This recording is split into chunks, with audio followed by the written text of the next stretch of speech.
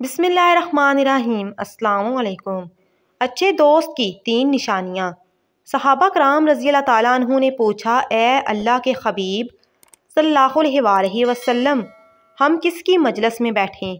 आप सल्लल्लाहु अलैहि वसल्लम ने तीन बातें इरशाद फरमाईं, जो कि मंदज झैल है।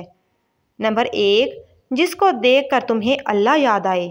नंबर दो, जिसकी बात से तुम्हारे इल्म में अजाफा हो। नंबर तीन और उसका अमल देख कर तुम्हें आहरत की तरफ़ रगबत हो। जिस बंदे में ये तीन निशानियाँ पाई जाती हों, ऐसे बंदे की सोहबत एहतियार करनी चाहिए।